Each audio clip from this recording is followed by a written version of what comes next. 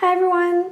I'm still got a bit of the flu and I've been inside studying all day so I decided I'm going to take myself out and I'm going to check out the riverfront because there's going to be um, a festival or something going on so I'm going to take a couple of footage of that and I hope you enjoy it.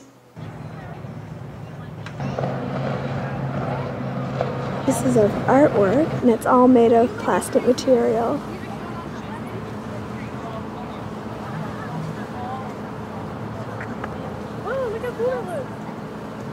That must have taken some time.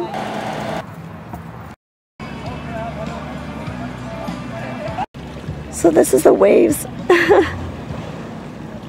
Festival. My voice is going like so bad.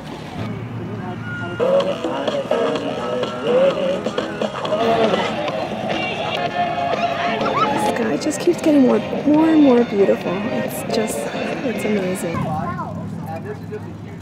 Today